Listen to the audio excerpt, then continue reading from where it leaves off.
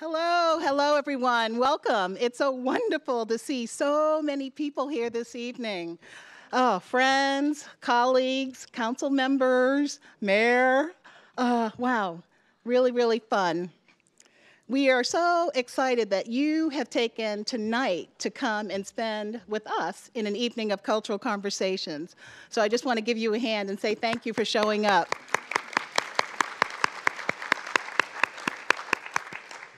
Okay, just a few, few housekeeping. You know about the cell phone rule. If you have your cell phone uh, live, if you could pr- please silent it, that would be uh, appreciated. Okay, great. Welcome to our fourth annual evening presentation of cultural conversations in the, in the CC, the council chambers. Okay. Our theme tonight is Beyond What We See. Tonight, we will be exploring moving beyond the cultural assumptions that we make about people at first glance and experience how we might find points of connection with others when we take a moment and pause, listen, open ourselves to other perspectives, and challenge ourselves to be courageous and learn about others with sincere curiosity. That's the theme of our evening. To kick off our evening is someone very familiar with this welcoming space of uh, council chambers. He calls council chambers his home every Monday night. John Chelminiak, Bellevue's new mayor, has been invested in serving the city and the east side for a very long time. He has served on Bellevue City Council since 2004 and has twice been deputy mayor. What we know at first glance is that he is consistent, he is invested while he works a full time job in the private sector. He is a native of the Pacific Northwest and a proud graduate of Washington State University. Got that right. Okay, go, go Cougs. The mayor is a longtime Bellevue resident. He has a head and a heart for really knowing the community and serving you who live, work, and visit Bellevue. As we do this important work, Mayor Chelminiak is a champion of the city's Diversity Advantage Plan and the council vision. Bellevue welcomes the world, diversity is our strength. I'd like to have uh, Mayor Chelminiak come up and say a few words. Thank you. Thank you. I will do that. I will do that. Okay, so here, you have that. Okay, okay. Well, good evening, everyone. Welcome. Wow, overflow crowd here tonight, and that is wonderful to have this conversation. So my name is John Chelminiak, and um, I've been the mayor for just a little over a month now, but have been on the city council for 14 years. I want to, uh, and actually, I'm going to introduce them as part of my family, because Monday nights we get together, we have dinner every Monday night together as a family. So two of my family members are here tonight. That is Councilmember Lynn Robinson, who is our deputy mayor, and Councilmember Conrad Lee, former mayor of the city and uh, our longest serving council member. So please welcome them.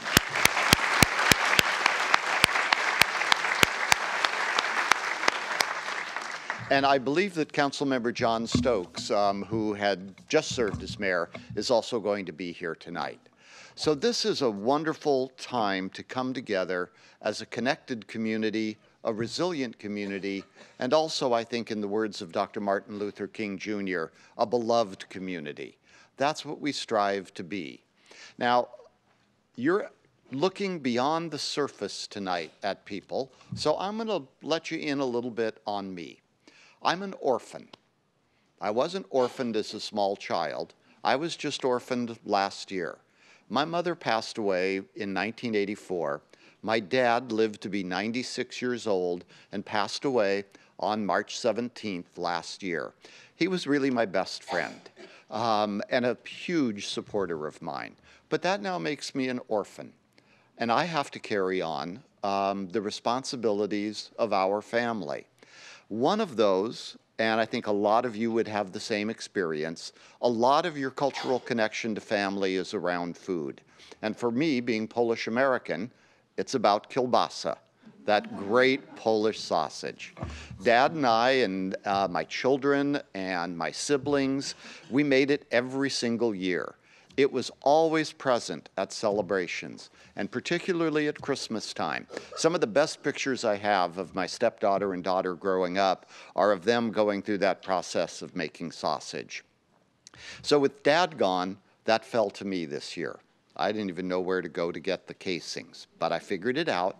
Um, and on a Saturday afternoon, with my daughter back from uh, Gonzaga, we spent that time together continuing a family tradition and advancing our culture by, even though dad was gone, we sat together, made Polish sausage, and it was delicious on a white Christmas, which is very rare, to have that uh, as, uh, as our uh, breakfast. So that's a little something different about me, something you didn't know. I know that you'll all be sharing some stories looking beyond what we look like to who we truly are. So thank you all for being here. I'm going to turn it back over to Carol, and I know she's going to introduce Brad Miyake, our city manager. Thank you again for being here. Thank you, Mayor. Thank you, Mayor. So I may be repeating a little bit, but I also want to make sure that I uh, really formally recognize some people that we have not had an opportunity, and that's Deputy Mayor Lynn Robinson. Okay, okay. Okay. All right. Okay. Uh, I'd, I'd like to recognize the, the elected officials who are here tonight for their support and leadership with the City of Bellevue and the Greater East Side.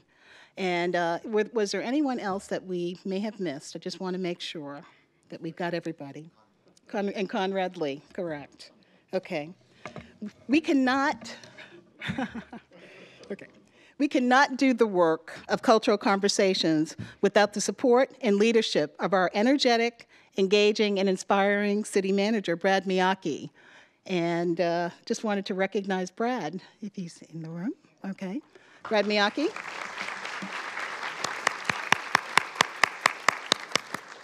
and also his hard-working leadership team. Uh, we have, I think, Dave Berg from Transportation here and Joy St. Germain, just a few of the people that are in the room that are part of the leadership team. Can we give them a, a round of applause? Thank you.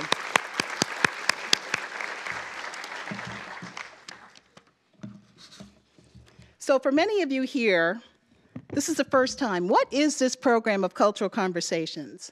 Cultural Conversations is a, a place of safe place for community connection that inspires change through storytelling, new friendships, awareness of diverse cultures, and common bonds.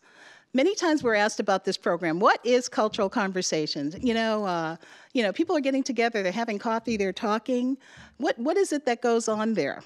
And the thing that we would tell you, and anybody that's ever been would say, you have to come and experience it yourself. You really just have to be here. So we're hoping tonight that you will also be able to understand what makes this program so special uh, for many of the, the, the people that are here tonight. And there are very many ambassadors of the program that are here. And uh, what I want to do, um, a wonderful community uh, that has been a storyteller or attended a cultural conversation. If you could just stand and wave your hand so everybody knows who you are. If anybody's attended a cultural conversation, or wave your hand. Yeah. The very many people that attend cultural conversations. You are the heart and soul of the program, the topics, the learning, and the connection. It comes from and through you. So we really appreciate your uh, attendance and your dedication. It is my honor to do this program with my partner, Barb Tuninga, who, along with Julie Ellenhorn, took the seed of this idea, listening to women in the community.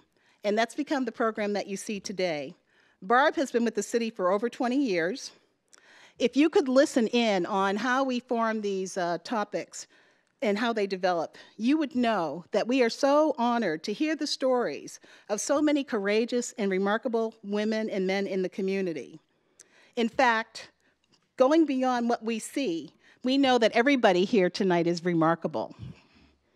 Doing this program, we know how we are changed as individuals, we see the changes in others, and witness the vibrant, connected community growing here on the East Side and beyond. Please welcome me. Please join me in welcoming Barb Taninga, who's going to come up and talk a little bit about, about the program. Thank you.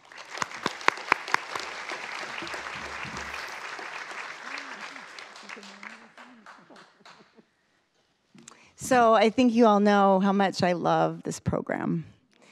Um, we are so grateful to have the opportunity to plan and participate in cultural conversations, like Carol said. I've had the pleasure of planning this program with Julie, Ying, Carol, just about everybody on our neighborhood outreach team, and it's been life changing, truly, for the neighborhood outreach team and for the community and for me personally. Um, it's just been an honor to witness and be a part of the sort of, I, I think of it as unlikely connections in the community because they those connections create so much resiliency in our community and it really it really is amazing to, to watch and be a part of so the community of cultural conversations has grown much larger since we began the program in 2009 um, we get requests every year for us to help others with this program as far away as somalia uh, as close as neighborhood groups and apartment buildings and faith communities and schools right here in Bellevue. People ask, can we have a men's only group? Can we do this program in the evening? Can we do this program on the weekends? Can we have programs for small kids? Can we have programs for teens? So this year we decided to go a little bit further with documenting the program and created a best practices handbook for organizers to encourage all of you to help others and help yourselves create your own unique cu cultural conversations. So this is it, and it's available for you as you leave tonight, and you're welcome to that. And it's also going to be soon available on the website. So real quickly, Sujata, where are you, Sujata? There you are. So um, she walked into cultural conversations a couple of years ago, newly arrived from India with a business card that read Corporate and Community Storyteller. And the rest is history. Sujata has helped us document cultural conversations. Um, and this year, she's helped us to create that, that best practices guide that will help more people start programs like this. Uh, I just want to tell you that after the story storytelling part of the program, we'll give you a, more details about the second part and when you go out to tables to, to connect with other people. But for now, I just wanted to focus on dessert because actually, what's more important than dessert, right? So you will see really amazing dessert platters provided by the French Bakery at all of your tables. Um, it's become a tradition at Cultural Conversations to drink tea and eat pastries and goodies from French Bakery. And um, I just, we, we wanted to mention that, that their story, Melanie and Kim's story, the owners of, of the Crossroads Bakery, is really tied to tonight's theme, um, exploring beyond what you see as you grab your tea or coffee on your way to your table, just take a minute to take a peek at the storyboard that talks about Melanie and Kim's story of starting the French bakery, or actually buying the French bakery that was already existing. I'm going to read a quick quote from a longtime participant of Cultural Conversations about the bakery and Melanie and Kim. When people meet Melanie and Kim, often there's a brief pause you don't expect to see an Asian couple running the French bakery, especially one so authentically French. And they are much more than that. Their philosophy, Melanie and Kim's philosophy, is all about helping people, mentoring their staff, um, even donating, donating food to the community every day that their bakery is open. So, Melanie and Kim, can you just stand briefly, real quick, so that we can thank you for all you do for the community?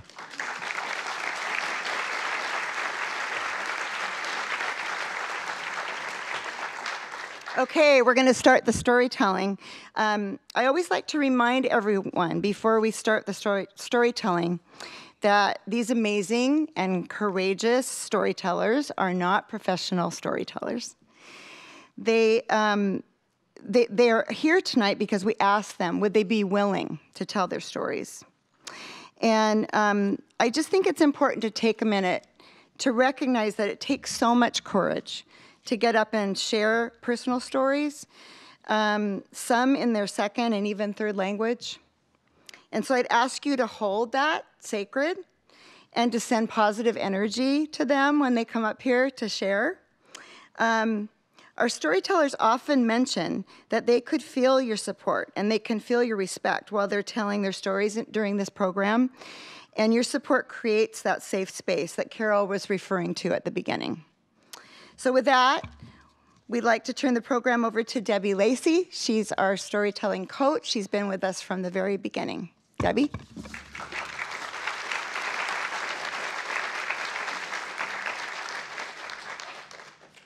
Just real quick so we can get to these amazing stories tonight. Thank you so much, everyone. Um, what a gift this evening is to gather in community, to hear stories, just as people all over the world um, have been doing for thousands of years. Many of our ancestors um, have been doing this very thing, telling stories and listening to stories. The author Terry Tempest Williams said that story is the umbilical cord that connects us to the past, present, and future. She goes on to say that story is a relationship between the teller and the listener, a responsibility. And story is an affirmation of our ties to one another. She speaks of the responsibility, and that's something we've witnessed during these events. The storytellers aren't the only ones with a job here. Don't be nervous, I'm not going to ask you all to come up to the stage. Some of you may want to after tonight. You're all part of the story, though. By giving your attention, by reflecting on your own experiences, you'll naturally weave your story into theirs. We invite you to listen for parts of the stories that remind you of your own experiences, however diverse, and to listen for moments that speak to experiences maybe that you'd like to have or that you'd like to know more about. Another part of our responsibility is to hold the stories as unique expressions of the people telling them. We must avoid the danger of a single story. That is the assumption that any one story or any one's story speaks for an entire group of people, which of course is impossible. Tonight's stories are about their truth, their reality. Your experiences, values, and beliefs may be similar or quite different. But these stories aren't about persuasion or debate. Every story is an invitation to understand and to connect. We honor the vulnerable, brave act it is to stand here in front of a large audience. By the way, you all look fabulous. I wish you could see you from this point of view. It's been my great privilege and honor to work with and support tonight's storytellers, hearing many more stories than you will share here tonight. And I know you'll be inspired and, and touched as I have been.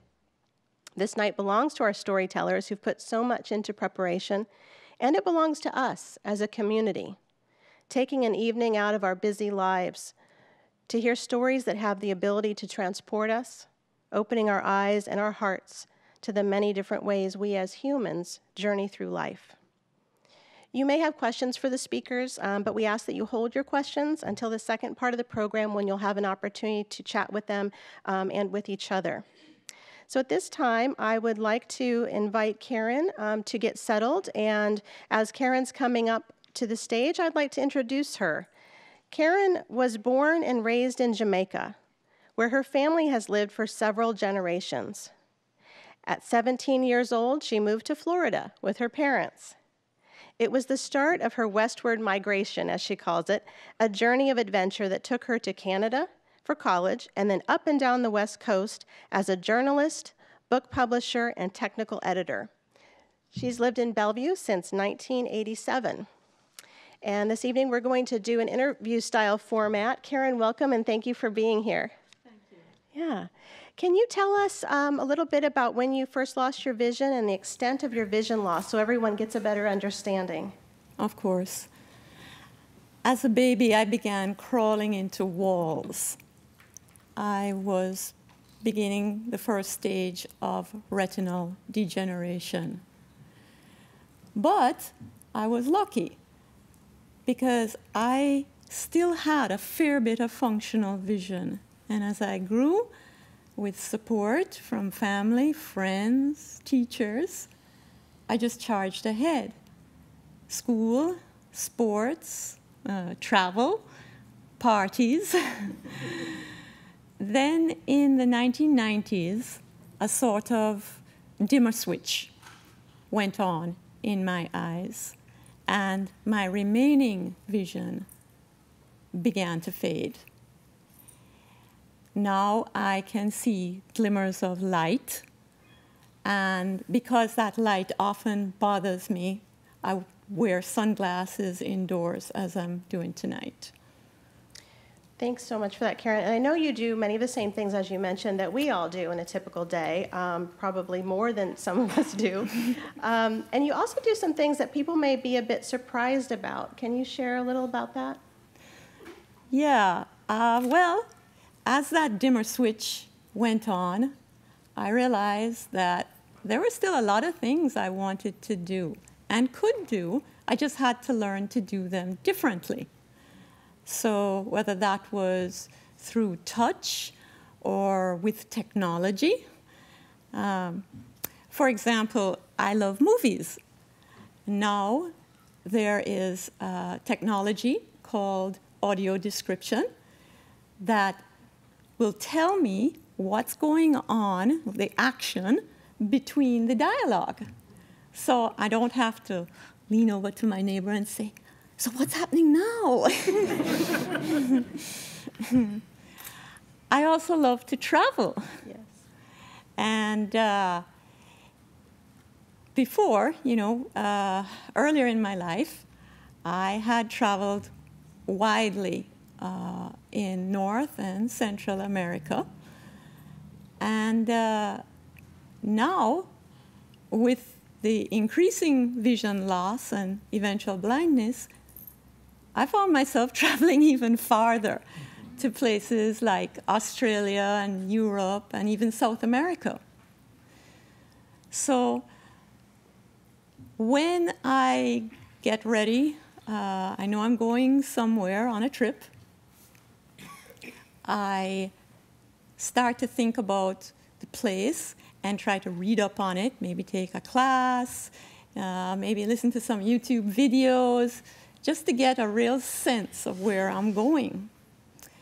Uh, I'm trying to essentially create a movie in my mind. So I went to Machu Picchu in Peru a while back. And the guide and I were standing on the terrace there. And he said to me, We're looking out over this magnificent valley and there are these tall, craggy mountains all around us.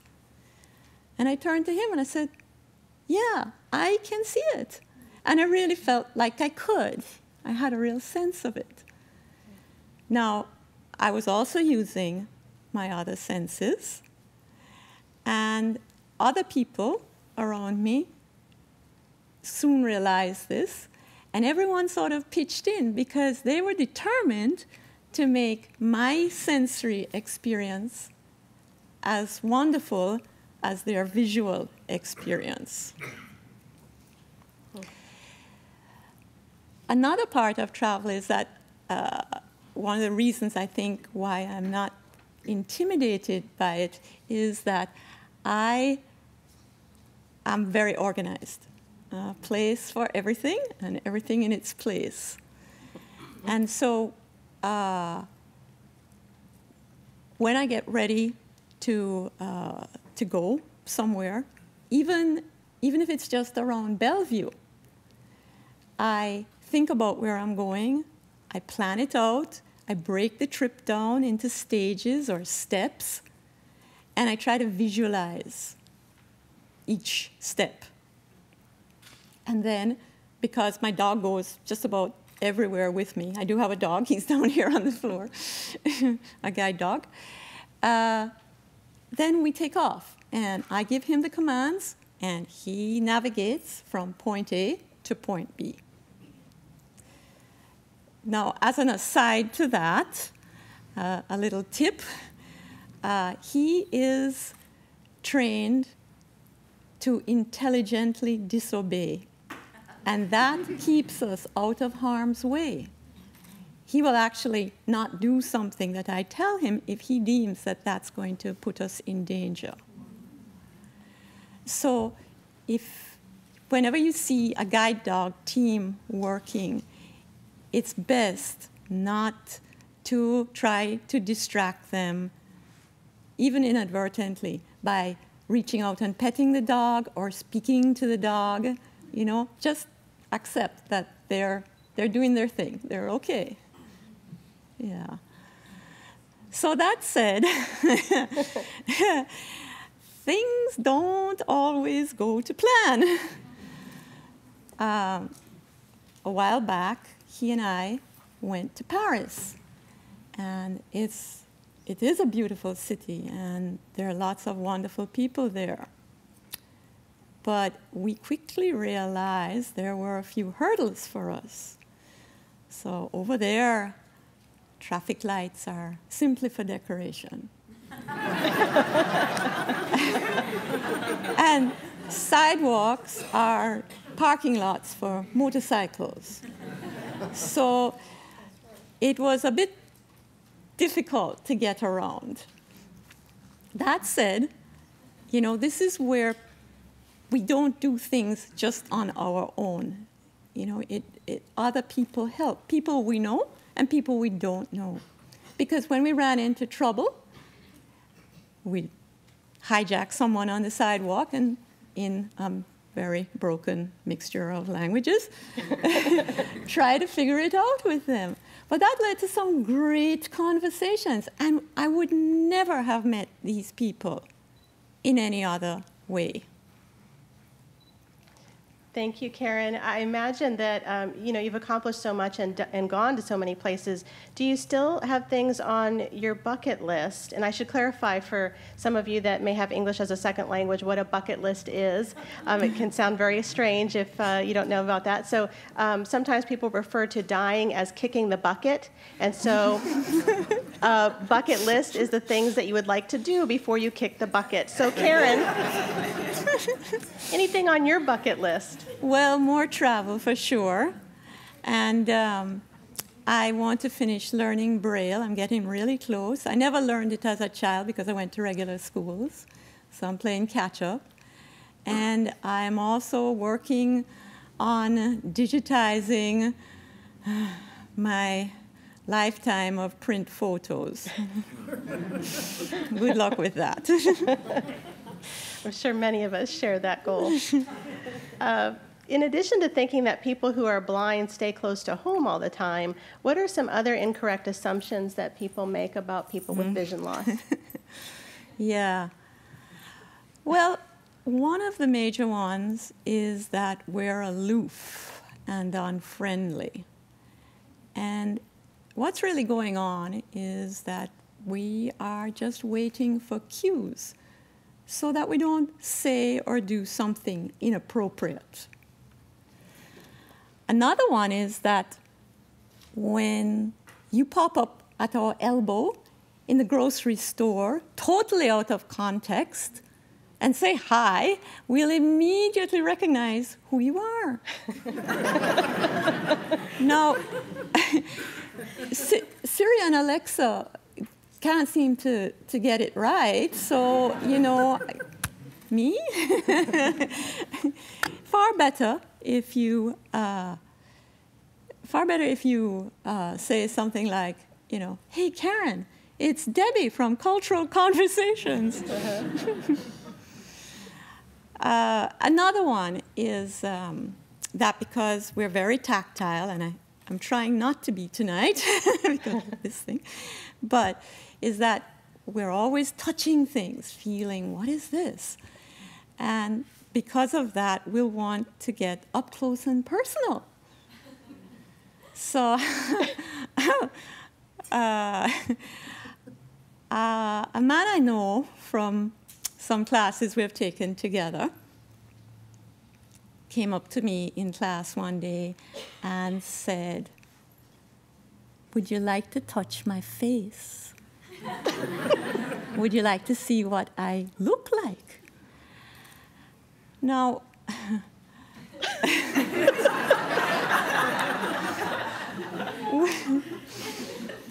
we have a mutual friend who is blind and who knows him far better than I do. And apparently, she had asked him if she could do that. Great. Now he thought, maybe I'd like to do that. and so I sat there for a moment and I thought, you know, I'm from an island culture. You know, everybody hugs and kisses at the drop of a hat. And could this be the Seattle freeze setting in? but you know, I said to him, uh, well, thank you, but uh, I think I'll pass this time. Karen, uh, thank you for that. And I, have been teasing um, Karen lately because now when I pop up next to her, I say, Debbie, it's, I mean, Karen, it's Debbie from Cultural Conversations, but I've been trained well. Um, you know, a lot of us take for granted the information that we get upon seeing someone for the first time and how that helps form our impressions of them. And um, what's it like for you not being able to see as part of helping you form those impressions and get to know people? It's challenging, no doubt about it. Um, of course, I do try to use my other senses to get a picture of the person. And it's remarkable what sort of information you can pick up about a person from their handshake or their hug or, you know, even their choice of cologne. But still, there are gaps, and I will often turn to a, a third person, uh, you know, and to, to, to find out. Of course, that can be tricky. So when I was growing up in Jamaica, it was a very diverse, multicultural melting pot. People from all backgrounds would routinely describe themselves and others very openly by skin tone, hairstyle, height, weight, uh, and uh, other physical characteristics. mm-hmm. uh, so they were describing what they were seeing in front of them very honestly. That was great for someone with vision loss. But in today's world, I turn to my friend and I say, What's she like? And that person turns to me and says, she's a woman of color. So they are taking in the descriptive details and they are giving me the label that we've agreed on uh, for preventing discrimination.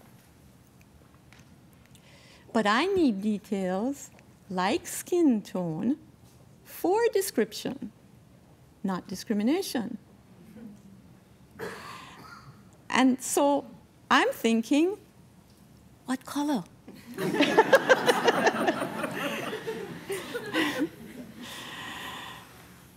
I want to paint a picture in my mind of the person. I don't want them to be roaming around in my brain as a blob. Just as if, you know, uh, my friend would say, well, you know, she braids her hair and she uses all these little colored beads and they just perfectly match her outfit. Mm. Mm-hmm.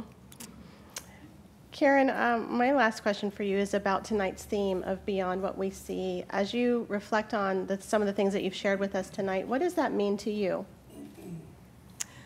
Well, for me, it's, it's that I hope we can all strive to be less superficial and perhaps more empathetic.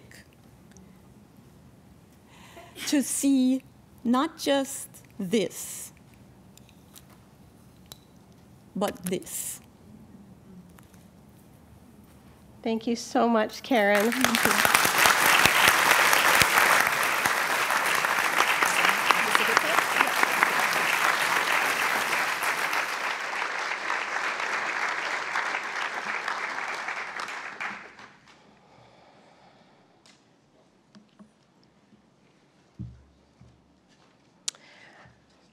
Our next storyteller is Ben Shahabi. Ben is best known for his work as an IT content developer for the City of Bellevue and Bellevue TV. I know he's well known by, by many of the staff and council members here. Benny, ben helps share stories, but few have heard his story. Ben was born in Iran and recalls a happy early childhood, but when he was seven, the Iranian Revolution began that resulted in the toppling of the monarchy. The new regime put an end to the Western lifestyle that Ben was accustomed to. Ben recalls no longer being able to wear t shirts and jeans. The women in his family who had not worn veils before no longer had the choice of being covered. All non religious music was banned, along with movies from the US and other Western countries. As Ben got older and sought a career in the film industry, he worked hard, eventually earning a salary three times what his father made in the Army. But Ben became increasingly unhappy when he realized he wouldn't be able to fulfill his dreams due to the strict regulations on the film industry and heavy censorship from the government on the art. Around that time, Ben met the woman who would become his wife, Mona. Mona was of the Baha'i faith, and that put her at great risk in Iran at that time. Since the revolution, Baha'is have been systematically persecuted. During the first decade following the revolution, more than 200 Baha'is were killed, hundreds more were tortured or imprisoned. Mona's family decided to send her away from Iran to protect her. Hastily, Ben decided to go with her, and in only two weeks' time, he left everything and everyone he had ever known. The couple made their way to Turkey, got married, and waited there for 18 months before being granted refugee asylum to the U.S. Ben's story, A Different Lens, begins in Arizona. Please help me welcome Ben Shahabi.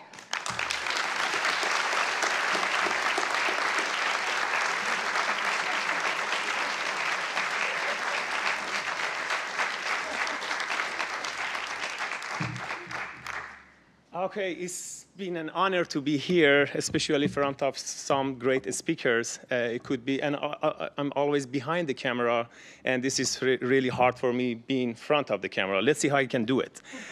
In 2003, our plane landed to the Arizona with zero dollar in our pocket because we have to stay a year and a half in Turkey waiting for the visa. Me and my wife Mona over there at the corner, we came and everything was pretty new to us. I mean, the freeways, the huge stores, everything. And back then we didn't have internet, so we couldn't really know where we're going. But we have a cloud over our head. We came to Arizona, and agency take us, and uh, they told me you have an option. So they find a place for us to live for a few months, and they told me you have an option of working the gas station or dishwasher. And I knew it, even though I have my license and I have a grade, but I knew it. This is big change. I have to start from zero. I accepted a gas station because I thought maybe help me to improve my languages. It was good first few months, uh, but we find that this is not the place we gotta spend the rest of our life. It was hot over there. and then people ask me, you're from Iran, it's desert. And honestly, it's not. I mean, if you just uh, Google and search, it's not. I mean, center of the Iran, yes, but north is pretty green like here. We decided, let's move. And we've been stupid enough from hottest, go to the coldest to Chicago. and we get there, and unfortunately, we get some racist issue. And again, I knew it's okay. You know, they told me if you cannot speak English, go back to your country. break my heart, I cried that night, but I knew it.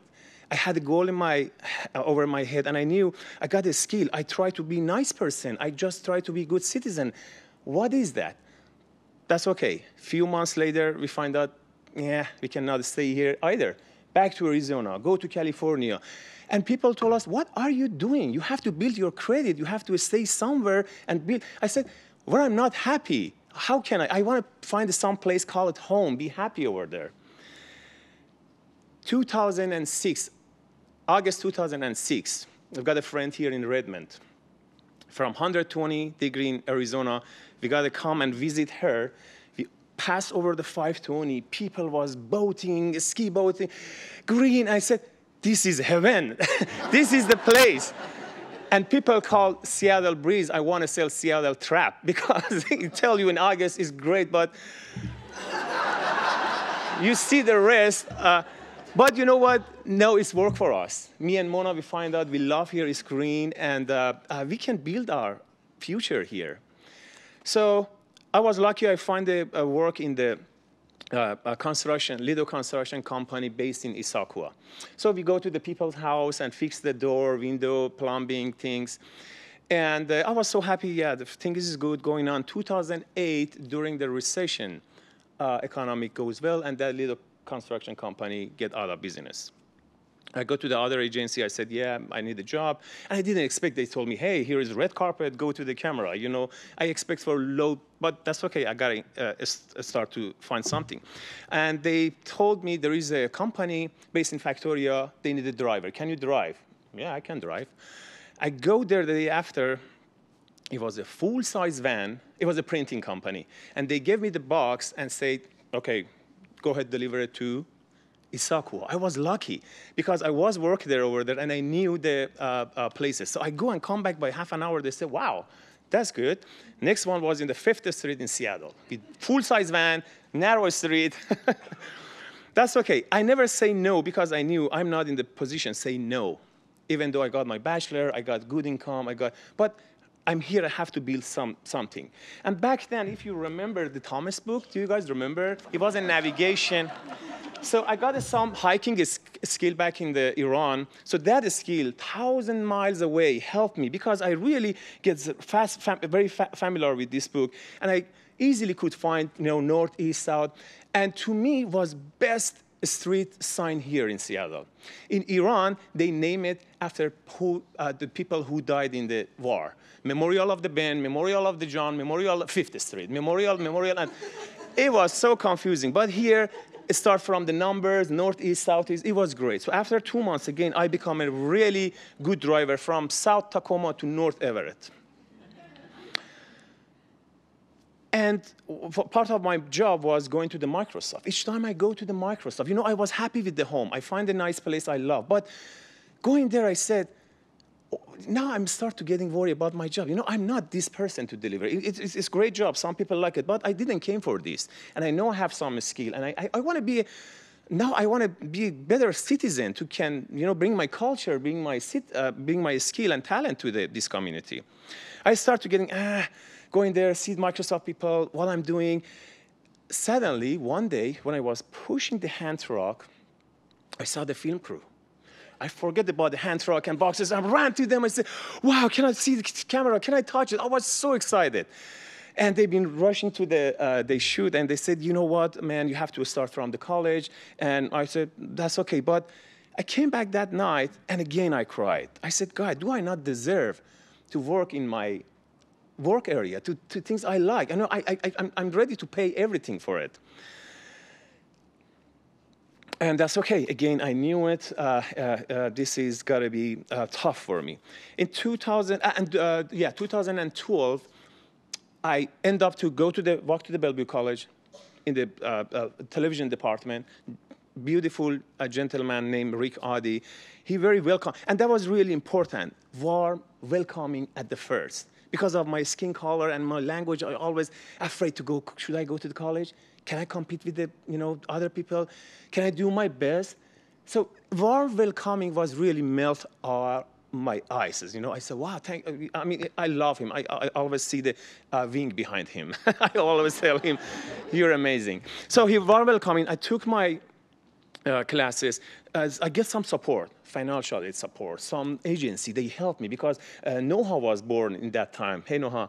And then the three-size family, and I have to just live with the work study, little bit support, and believe me, three-size family, 900 in 2012. I was ha most happiest person because I'm studying my you know, career field, which was I did in Iran, and now I'm, I, I can do whatever I want. So part of the, uh, uh, my job was between college and city, there is a partnership. So they do, like right now, there is a people, people behind this room. Let's uh, round applause for them. They here, you cannot see them, but they are back there. Part of our job is come here and do the city council night. I meet all the uh, council member and mayor every Monday night, and we do the other stuff for the city. So I basically start to working with the city and college while I start to doing my uh, uh, study. And I said, okay, I love this job because when I was in Iran, I said, maybe I cannot say my expression, my feeling. But when I'm behind the camera, behind the visor, I can find the things or see the things people may not see it. So that's what I find this, uh, I, go this, to this major and find this job. And I said, how can I bring it here? Now I'm going to the uh, city for construction filming or interview the mayor or council member or anything happening. How can I bring, how can I change it? One day I was in the mini city hall with Barbara Tuninga. We're supposed to interview two women. They've been immigrant from China and South America, and they, they go through really bad things, and they have to tell their story. And imagine, they were in the room, light, camera, even I get shocked. And those two women, I saw behind the visor, something's not right. They feeling so nervous. And I asked Barbara, can I have a five minute? Look at me, what is talking about? People going out. And sometimes people, I mean, the, you know, I don't know, some, I, you know what I, what I do? I go and say, I'm, I'm one of you. I can, I, I, I know what you go through. I go through those things. It works. And they, it, it, it, they break their eyes, you know, and they, and they start to uh, talking after that. They were crying and tell their story. I was crying before the camera. And I find that I can help, I you know, because, uh, and that connection, it wasn't word, it wasn't anything. It was just something we experienced it. And the other, uh, uh, sorry, Officer Lisa, I saw she here earlier, she has to talk about uh, uh human traffic. You know, it's a, a very sensitive subject. Again, they said, uh, Ben, this is an important subject. The, the things I do, you know, I, am I'm, I'm really kind and loving people and hugging guy and always smile. And I get it from my mom. Thanks, mom. so the, uh, the first thing I did, hug Lisa, and, you know, I said, forget about thing. Lisa, I started to tell her a story. And they said, this is another thing. I remember it was an Iraqian from Iraq, which we had a war back then in the you know um, 1972 uh, uh, uh, three. He came to the uh, program Bellevue College, and I saw him. He was so nervous, and I say, "Hey, I'm from Iran. You're from Iraq," and uh, I, I talk to him and break his. You know, I find that I can do all these things. So, in 2012, oh, in 2014 uh, Microsoft called to the, our college and said, we're looking for one cameraman. And guess what? They told me to go there between the 20 students.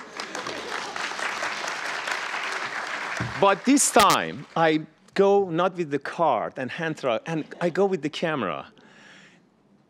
I cried that night again, but I was so happy this time. And I said, thank you guys. I just, that night, the first night, I cried and I just, you know, I just Im image it, see it, and want it from the God. And just year and a half, I mean, especially the young audience here, it just happened because I was hardworking and I knew I'm a foreign, I'm, a different country. I have to double work. I have to hard even more than uh, regular student. So that worked.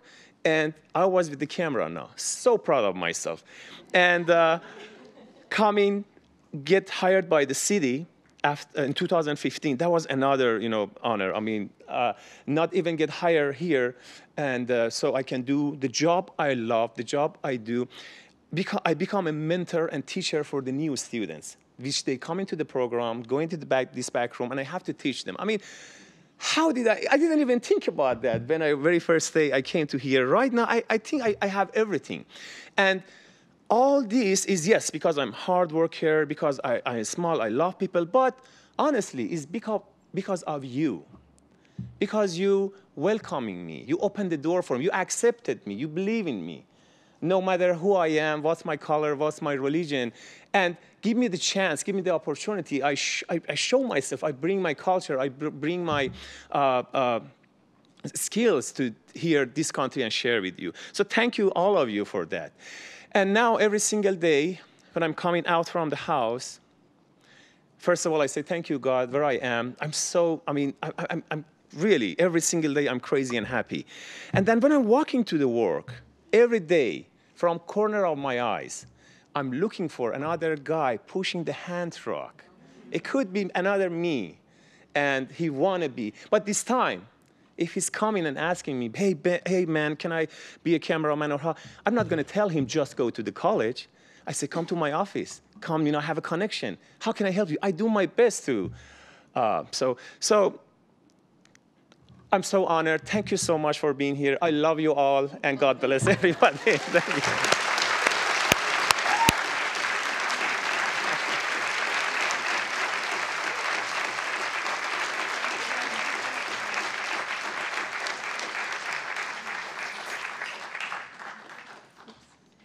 I'm, I'm putting one last slide up here. Um, that yes, go ahead. Go ahead, Ben. I'm sorry to interrupt. Uh, last week, it happened to I go back to Arizona, the place I start. this is the gas station I start.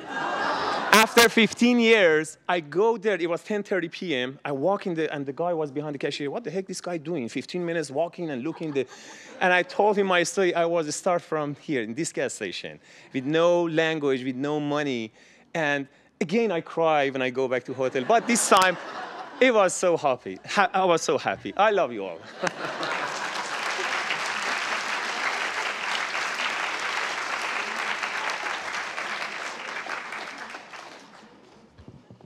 Thank you again, Ben.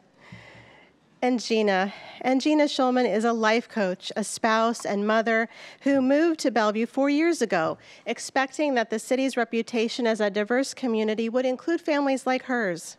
She'll share her experience as an African American living in a city where changing demographics challenge us to move past initial assumptions about race and ethnicity. Please help me welcome Angina.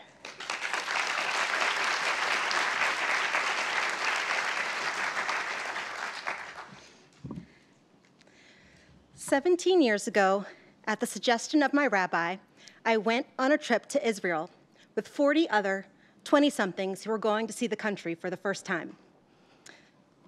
On that trip, I met my husband. Let me back up I'm Jewish. It was a quick romance, three weeks if you count our time in Israel. After that romance, Kirk had to move to Maryland to be with me but he wanted me to meet his parents before he moved. He called his mother and told her he met a nice Jewish girl who graduated from an Ivy League school, loved art just like her, had a wonderful job in technology company in Maryland, and she was really excited to meet me. Kirk called to tell me the good news, and he relayed to me what he told her. And I panicked. Kirk, I asked him, did you tell your mother I'm black? No, he said, you have to tell her. She has in her head what a nice Jewish girl looks like, and I don't fit that mold. He reluctantly agreed to call her back, and when he told her, she hung up the phone. Now, before you judge my mother in law, who is compassionate and a very educated woman, let's do an experiment. You guys game? Okay, close your eyes. I want you to picture an elephant. It's a big elephant. It can be in the zoo, or maybe it's roaming around in the wild. Okay, do you guys all see it? Okay, open your eyes. How many of you saw a striped elephant? Nobody saw a striped elephant? Okay, one person, okay. How many elephants had a trunk? Everyone's elephant had a trunk. Oh, awesome, okay. We all categorize people, places, and things. It's normal. Time and familiarity help us recreate and expand our categories of people. My mother in law and I have a wonderful relationship now because of time, conversa- conversations, and grandchildren. the same is true of Maryland, where I'm from. In Maryland, I was a striped elephant who was accepted and comfortable with my Jewish identity. My family had a synagogue we had attended since my kids were babies. And to the chagrin of my husband, the director of the synagogue was my first boyfriend's mother. I tell you that to say that our community supported us inside and outside of the synagogue. We belonged. We didn't have to be anything but us. Four and a half years ago, we moved to Bellevue. When my husband told me of the possibility, I said, no, we're not moving. But once I knew the move was happening, I had two questions. As a black woman, I wanted to know where was I going to get my hair done? And for those of you that don't understand that, it's a whole ordeal, and I still haven't found a place in Bellevue where I can get my hair done. So if anybody has any recommendations, you can let me know later. Okay, thank you. and my second question was where will we go to synagogue? So far, I found two options. Now, this was a huge surprise to me. In my community in Maryland, you do this thing called synagogue shopping.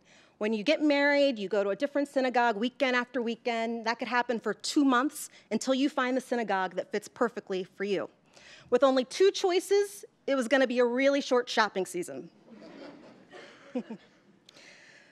but it was a dream job for my husband, so we moved. And we arrived in August, and as Ben said, anyone can fall in love with Bellevue in August.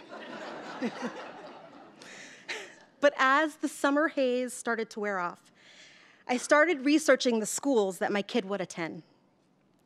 And there was only 1% African American students in that elementary school. But there was also another category, mixed ethnicity. And I thought, oh, how progressive of Bellevue. I've never seen that category before. And although I thought diversity would look a little different here, I wasn't worried because my kids had always been the only or one of two black children in their classes, so this wouldn't be a much different experience for them. But as the school year started, it dawned on me that Rosh Hashanah and Yom Kippur, two of the big holidays in the Jewish faith, were going to fall the second week of school.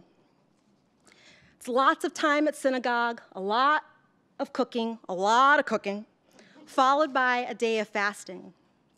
And these days were always given off in my community in Maryland. I was so concerned with moving and getting my first and third graders settled that I didn't notice that the, days were not already given off. I went to school and told the front desk lady that my kids wouldn't be at school because of the holidays. Blank stares. Rosh Hashanah and Yom Kippur. More blank stares. Had there never been a Jewish family in this whole school who needed these days off for the holiest time in the Jewish calendar? I was shocked. I stood in the front office, and the lady handed me a form to get the days off, and I paused. Like any mother, I wanted my kids to feel safe, welcomed, and accepted. And in that moment, I didn't know if that was possible. We had a lot going on as a family. We'd only been in Bellevue one month. New home, new coast, new roles in our family, and this was the first time my kids had been in a, in a traditional school setting. I didn't know if they would be accepted for their differences. So in that moment, I slid the paper back across the counter and decided for the first time that my kids wouldn't attend high holiday services. My brain and body just wanted my kids to fit in. 1% African American, and from what I could tell, 0% Jewish. I can't turn down or turn off our blackness, but I can control how Jewish we seem in the world. My husband was more than happy to take a break from services that year, so I went to services alone. I felt a little afraid walking past the security guard at the door without my husband's overt Jewishness telling the world that I belonged. My hierarchy needs have been compromised. I had food, great food from Whole Foods and Trader Joe's, and a great house, my dream house, farmhouse really close to downtown. But because of the newness and lack of seeing people like me or people who worship like me, my safety felt in jeopardy. And I made a choice.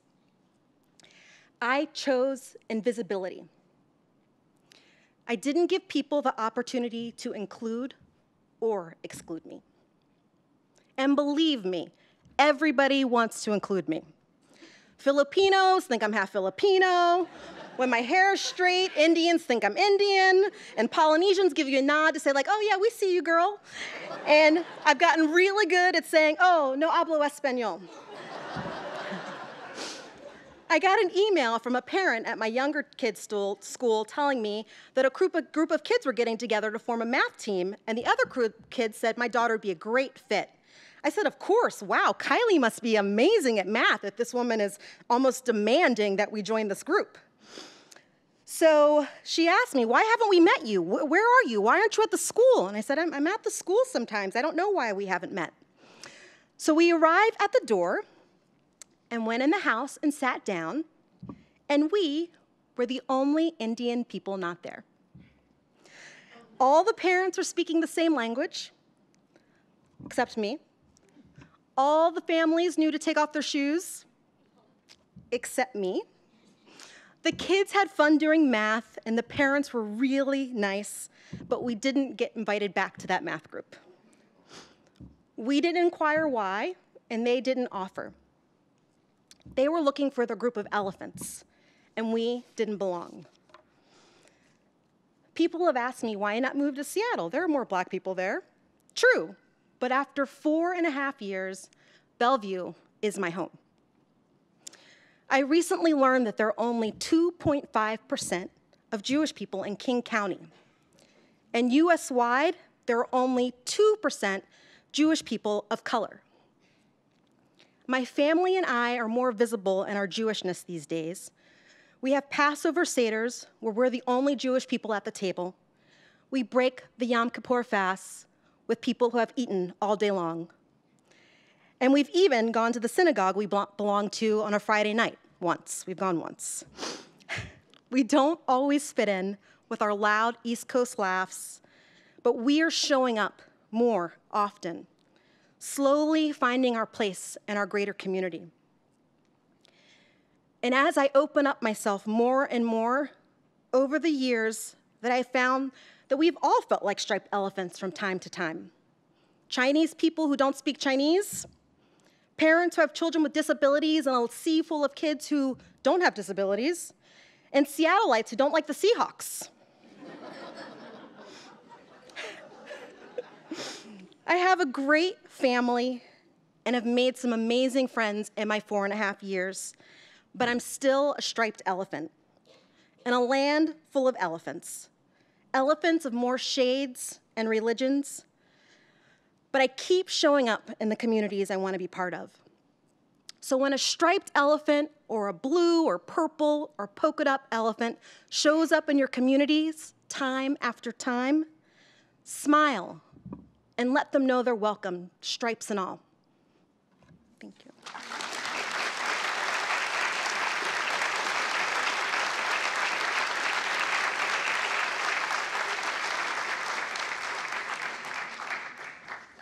Thank you, Angina. I will never think of an elephant the same way again. I appreciate that. Our last storyteller of the evening, but certainly not least, is Prashant. Prashant Nima grew up in India and moved to Seattle in the summer of 2001. Initially, he came to work for Microsoft, which he did for uh, two years. Then he soon found his home and community here in Bellevue. At first, his community was limited to Indian friends at work, but he's been expanding his circle recently. Now, during the day, he works for Facebook, where he focuses on speeding things up. In the evening, he switches into his alter ego and tries to make the world slow down and pay attention. Or so he thinks. Prashant is a founding member of Network for Unity, a young Eastside organization that aims to nurture solidarity and harmony across identities. He's also a board member for the Metta Center for Nonviolence and a volunteer for Asha for Education. He's going to tell us about an interesting experiment he's running here in our community. Prashant?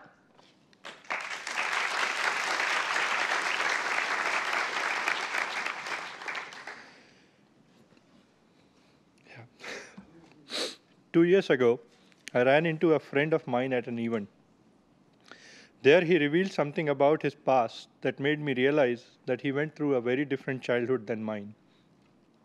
We are both Indian, Though an outsider cannot tell us apart, our birth designated both of us to very different experiences. As an oppressive system, the Indian caste system is just as brutal as American racism. My friend belonged to the bottom of this system, and I to the top. Listening to his story, I understood the differences between my theoretical understanding of the system and his lived reality. I later learned from him that because of my ignorance about the system, I was a beneficiary, a participant, and a promoter of that system. This drove me mad with anger and guilt. When sanity returned, I saw the reasons of my ignorance. I saw parallels of that in the new society had, I had moved into. One of the reasons that caught my attention was something I call learned, learned segregation. I saw people choosing to spend most of their time, emotion, and money on small set of familiar but comfortable people. There's nothing wrong in that.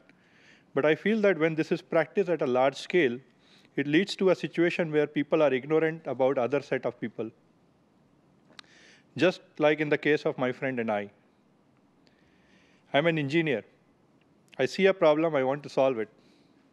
So I took upon myself to re-engineer the society around me. I'm kidding.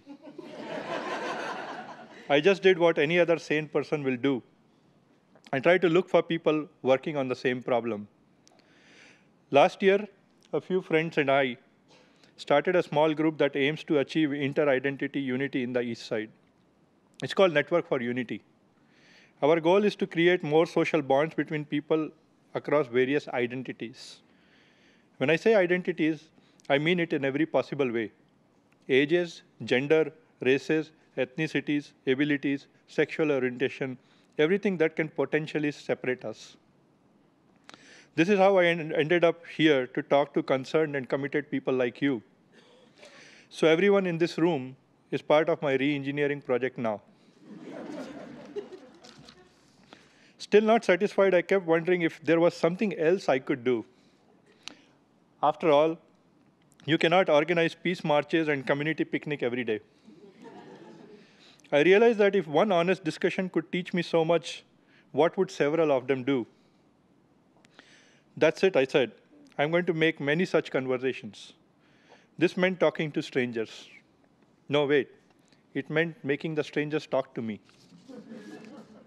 so one morning, I'm thinking about where I could meet stranger willing to talk to me. I needed strangers and I needed diversity. So bars were out of question. I had recently read somewhere that people who frequently visit public parks were more likely to be extroverts. Bingo, I said to myself. if there is a safe place to run this experiment, it must be the park. Now, I guess all of you know about Crossroad Parks in Bellevue. Lovely park, my family has been regular at that park in the summer, and it has amazing diversity, ethnic diversity to be very correct. So I decided to hang out there and treat it as, a lab for my social experiment. My next challenge was to find a way to get these extrovert parkers to talk to me. I saw people who had dogs made friends really quickly. I didn't have a dog, but I have a son. So I use my son as an icebreaker. when a stranger sees me at a park, their limbic system, the fight or flight system, probably sees a large sized middle aged Indian man. But when I follow with my son, the stranger sees a dad. It helps to switch identities at time. A few days into my experiment, I faced a little motivational problem. I still wasn't able to initiate the conversation with too many people. There was a friendly Chinese guy, Tunda, who tried to talk to me, but he spoke no English. then one day I saw him hanging out with a bunch of Indians who had come to visit their children from India. I was shocked. It wasn't common for Indians to know Chinese, even though we are neighbor. I caught up with them and asked the Indian person, Can you speak Chinese? He said, No. Then how the hell are you guys talking? Somehow, he replied, and Tundas nodded in agreement. Both smiled mischievously. It was an aha moment for me. We later ended up using Microsoft and Google Translator, and they both learned a lot about each other. As for me, what I learned was that human relationship can percolate through many impossibilities. Then there was another episode where once we were taking help of a Chinese lady who was married to an American guy, and we were taking her help to talk to Tunda. During the course, he said something to her which we felt was rude. She said it was not uncommon for some older Chinese people to be, un, uh, to be uncomfortable with interracial marriages. We had grown fond of Tunda, and we were a bit shocked. But that day I learned that in this experiment, I will meet many people who will, because of their own biases, say or do things that will make me cringe. I have to find ways to focus on commonalities and to be able to ignore that what can be overlooked. I was here to learn, not to teach. The other thing I learned was that I need to be interesting enough for conversations. now, I don't have too many skills, so it makes it a bit difficult. But if you know some art, music, dance, sports, painting, all of these things can help you initiate conversations. So if you have these capabilities, please come to me. Needless to say, the experiment will break down at some point. There will be conflicts. I have to be prepared for handling them or moving on from such point. There is another episode that comes to my mind where my wife had some trouble with a particular boy misbehaving in the park. She started to walk towards his mom, ready to complain. I was petrified. I was petrified of their argument causing a breakdown in my experiment. I could almost read Bellevue Reporter mentioning a cultural war, tomorrow. Thankfully, it didn't end that way. When I caught up with them, I realized they were engaged in a very mundane discussion. The mom had already agreed about her son's behavior. I learned that there will be times when some respectful confrontation will be necessary, especially when it comes to children. I can go on and on. There are one story for every day of summer I spent there. But it's time to wrap up. I want to tell you that no matter where this experiment goes this summer, it has already immensely rewarded me. My social circle has expanded now, and it only makes me more receptive to new people, ideas, and thoughts. People who know of my experiment also feel very comfortable sharing their own experiences. The radius of my experiment has also gone beyond the park. It now includes coworker and poor Uber drivers who are trapped with me in the car. and evil people who happen to be friends with me on Facebook. Each has a unique story to tell. One of the gentlemen at the park shared an interesting secret with me. Apparently, he used to be a smuggler in 70s and used to smuggle watches. It was a big thing in India back, back then. Then there was a, this Uber driver from Gambia who told me that Amitabh Bachchan, my childhood favorite Bollywood star, was his childhood favorite too. I didn't know they watched Bollywood movie too. Another Iraqi friend told me about losing his father and brother in a roadside bombing and then how he made it to America. Even my friends from India now tell me about challenges they face as minority there. These rewarding and touching stories just keep coming. The most important lesson I want you to leave with tonight is actually a paradox. What I have learned is that if you pretend to not see the stripes, as Angina said, if you pretend that you don't see differences, you see everybody as human, we are all elephants, then subconsciously, subconsciously you end up you subconsciously you end up not believing that. You you're trying to still say subconsciously that we are different if you try to pretend that we are not different. On the other hand, if you learn to see, appreciate, and recognize the stripes, you are more likely to understand that deep down we are same. It is no-brainer actually. I'll give you an example.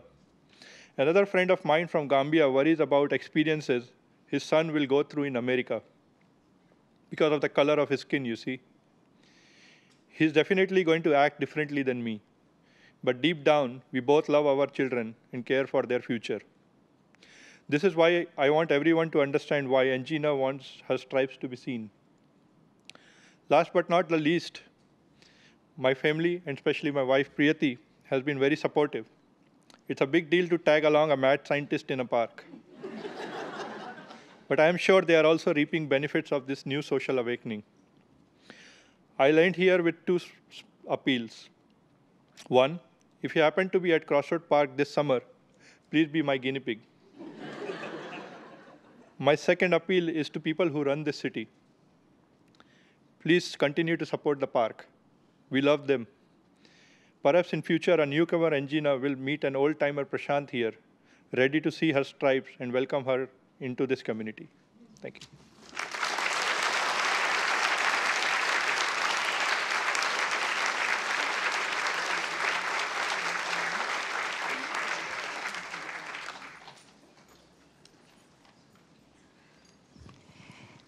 So I wanted to um, to let you know that Janice Janice is here tonight. Janice Zahn. She's also a council member, and she came in after we were doing the welcome. So I wanted to. So thank you so much. The stories were amazing, as they always are, but this was especially oh overwhelming tonight. You guys all did amazing, amazing job. Um,